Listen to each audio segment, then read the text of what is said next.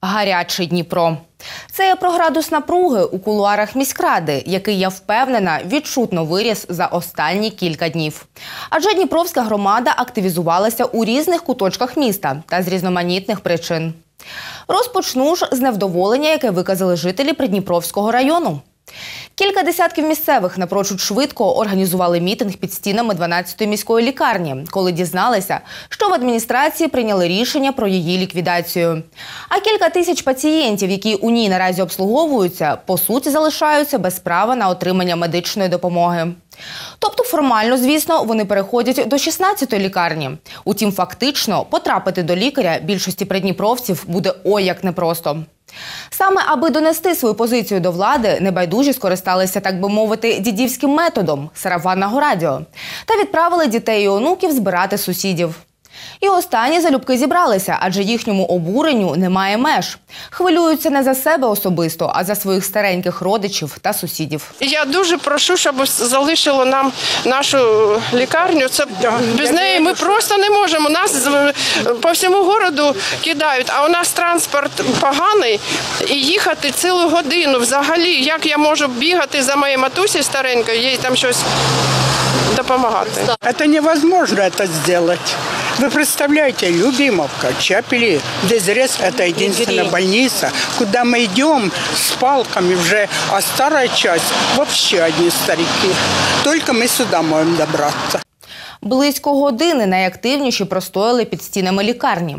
Утім, поки що до людей ніхто не вийшов ні з медичних працівників, ні з представників міської адміністрації. Тож обурена громада запланувала наступну зустріч на початок майбутнього тижня. Говорять, що не здадуть свої позиції, допоки влада їх не почує та не прогарантує залишити лікарню району. А от жителі Березинки самотужки взялися вирішувати свої проблеми, адже реакції від тих, хто мав би займатися благоустроєм житлового масиву, громада так і не дочекалася. Тож втомлені від виїжджаючого та заїжджаючого у двори і вдень, і вночі транспорту, що обслуговує місцеві магазини та кіоски, люди почали масово блокувати двори величезними грудами каміння і бетонними блоками. Організаторами у доставці та встановленні таких саморобних блокаторів стали голови ОСББ. Саме вони збирали кошти та визначали дати, коли мешканці того чи іншого будинку мають зібратися та встановити блоки. І от тільки після таких рішучих дій у районній адміністрації нарешті, як то кажуть, зачухалися. Адже такі неузгоджені з міськими архітекторами перепони, встановлені у непризначених для цього місцях, можуть ставати на заваді каретам швидких або ж пожежних машин у найкритичніші моменти. Тож нарешті на сторінці районної адміністрації з'явилося таке повідомлення.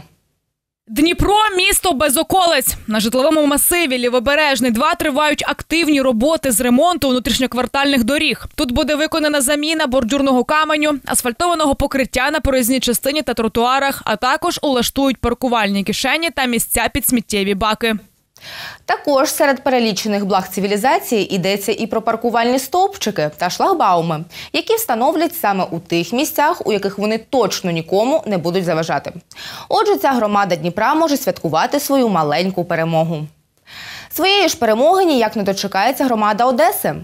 Тут уже кілька місяців точиться запекла боротьба між активістами та забудовником, який рішуче налаштований знести дві надважливі для містян культурні пам'ятки їхнього міста типографію Фесенка та кінотеатр Рішельє. Днями у вже давно створеній у Фейсбуці спільноті небайдужих до історичної спадщини одеситів з'явилося нове, як на мене, досить нестандартне заклик оголошення. Уважаемые одесситы, завтра в 14.00 пройдет мирная акция в поддержку типографии Фисенко и театра Ришелье. Мы призываем всех неравнодушных одесситок и одесситов выйти под типографию с цветами. Завтра мы вместе обратимся к простым рабочим. Остановите работы, уничтожающие историю Одессы. Когда? В 14.00. Где? Ришельевская 47. Что взять с собой? Если у вас есть возможность, возьмите несколько цветов. Кілька десятків небайдужих відгукнулися та з посмішками і лагідними словами прийшли до працівників будівництва.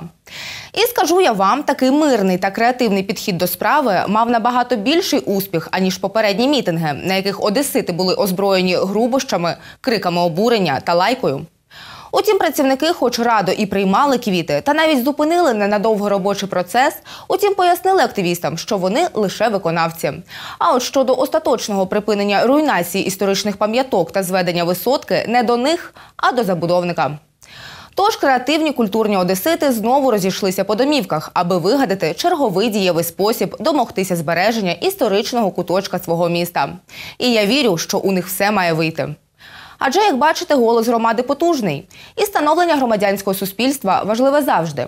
Утім, при цьому завжди варто пам'ятати, ваші права закінчуються там, де починаються права інших.